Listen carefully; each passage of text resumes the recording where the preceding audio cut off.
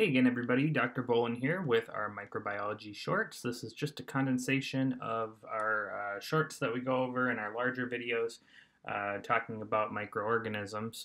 Um, I just want to invite you to come watch our larger videos if you want a more in-depth explanation of the topic. Uh, feel free to subscribe, uh, hit the subscribe button uh, below, uh, or donate to my Patreon if you like these videos. So let's get started. So our memory hook for Staph saprophyticus will be the Greek mythologic figure Sappho. And I don't know a whole lot about Greek mythology, but I do know that Sappho is a woman, and women get UTIs, and uh, women also have a vaginal flora, and that flora is florid with Staph saprophyticus. So when you think Staph saprophyticus, think of women's genital tracts. So here we have Sappho. And notice that the background of this, as well as her weapon, are a nice bluish purple color. Purple being our symbol for gram positive. So Staph saprophyticus, like all staph, gram positive. She is trying to defend her friend the merboy, which I guess is a male version of a mermaid, and she's using this weapon. And this weapon is also purple for gram positive. And this isn't just any old weapon, it's a weapon that is emanating gas.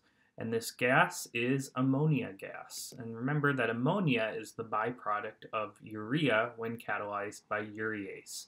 So Staph saprophyticus is urease positive.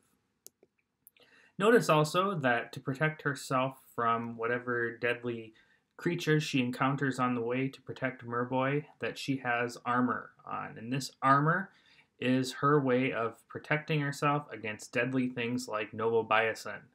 And novobiocin is uh, what Staph saprophyticus is resistant to, and that puts it in contrast to Staph epidermidis, which is novobiocin sensitive. Remember that your mnemonic, no stress, S-R-E-S, Staph saprophyticus is resistant, Staph epidermidis is sensitive.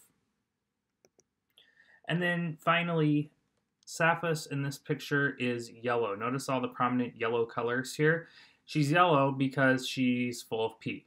And that is because Staph saprophyticus is the number two cause of urinary tract infections in women. So Staph saprophyticus, gram positive, urease positive, novobiocin resistant, and the number two cause of urinary tract infection. Remember that the treatment, I don't have it listed on here, but the treatment for Staph saprophyticus is trimethoprim sulfamethoxazole, and sulfa is yellow, sulfur is yellow rather. And so remember that trimethoprim sulfamethoxazole is the treatment for Staph saprophyticus infections.